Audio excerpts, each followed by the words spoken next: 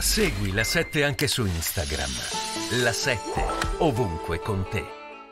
Intanto le faccio vedere questa immagine. È un momento informale del viaggio dell'italiano, del francese e del tedesco a Kiev.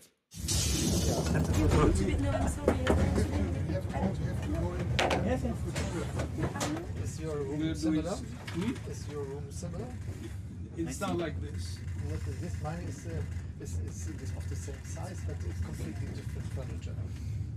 Much sure. less You have- luxurious. Mine, Yeah. mine was You have the basic. smaller icon. It's only his room that's so well. mm.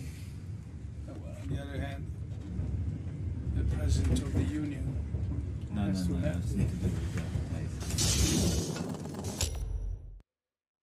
do cosa pensi di questa immagine? Ha fatto benissimo, secondo me, a proiettare questa immagine, perché dà l'idea di quello che sta accadendo. Tre persone, poco più, quattro, cinque, ci vuole mettere dentro anche Biden e Stoltenberg, che decidono per la vita di centinaia di milioni di persone.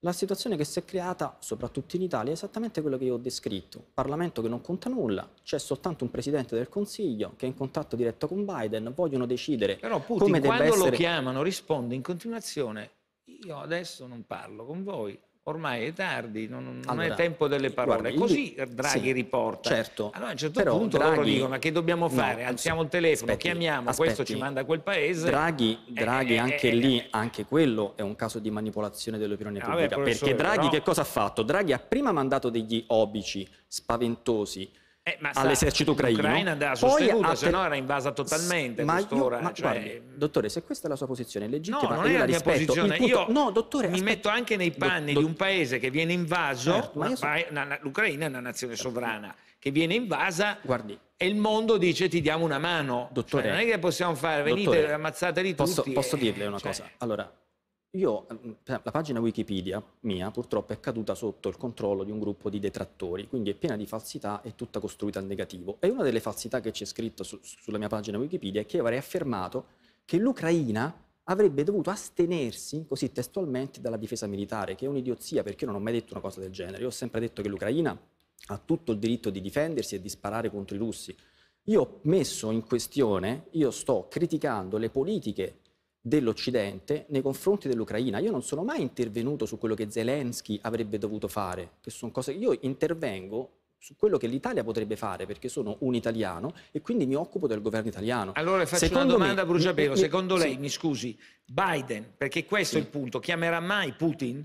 O Putin chiamerà mai Biden? Siamo qui a chi chiama chi? Dunque. Prima intanto ammazziamo, lasciamo Dunque. morire tutti, cioè In- per una chiamata... Allora, cioè, ris- io capisco l'orgoglio di ognuno, però Ah. di fronte a quello che sta succedendo, forse fare Allora. una telefonata potrebbe far cambiare le cose o no? Una sola o tele- fai vedere che sei debole? Dunque, una sola telefonata e serve, l'abbiamo visto in questi mesi, per prendere in giro le persone, perché le telefonate non servono a nulla, una telefonata non ha mai fermato una guerra. Devi fare delle offerte concrete, che sono le due che le ho detto. Basta espansione della Nato ai confini con la Russia e aprire un dialogo sul Donbass, che sia autonomia o che sia indipendenza, questo è da vedersi. Ma chi la deve Quindi- fare? Lei ho capito, non è che Se Biden- ciao, se- Vladimir, stai bene? Ma Certo. È chiaro che è tutto un Certo. lavoro preparatorio. Certo. Ma se non c'è questo passaggio, Certo. qui ehm, Io- io- uno dice vado sì. avanti, l'altro vincerò. Sì. Beh, ma nessuno Io- io- fermerà allora, questa guerra. Le rispondo, vorrei soltanto... Il rischio che diventi in Afghanistan in Europa Certo, c'è? Una Siria, cioè, ma già lo è- ci siamo già, Eh. nel senso che gli Stati Uniti hanno stanziato 40 miliardi di dollari da dare all'Ucraina. Però è che- dicono che non vogliono più stanziarne altri, Ma- mi sembra. Scusi, dottore, parliamo di un, un punto del bilancio federale, 40 miliardi di dollari è una cifra spaventosa. Gli Stati Uniti non daranno 40 miliardi di dollari all'Ucraina tutti insieme, un miliardo alla volta. Quindi gli Stati Uniti, Biden, ha creato le condizioni per la sirianizzazione della guerra in Ucraina.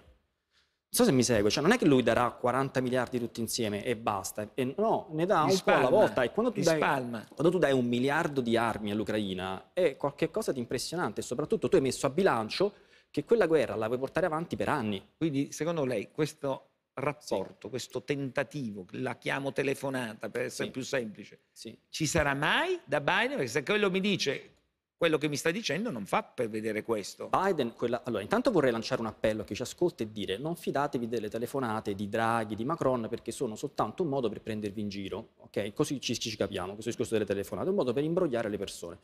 Le guerre si Cioè, fermano. nel senso che dice che questi non così. servono a nulla. Ci- professore, servono a adesso, nulla. vabbè, allora, serve, però- serve, serve fermare l'espansione della Nato ai confini della Russia. Lei dice basta telefonate, fate un atto dove Certo. dice noi non andiamo più a mettere missili in Ucraina, Bravissimo. state tranquilli Bravo, e sereni. esatto, e esatto. questo dovranno prima o poi farlo. esatto, Biden- Però c'è anche questo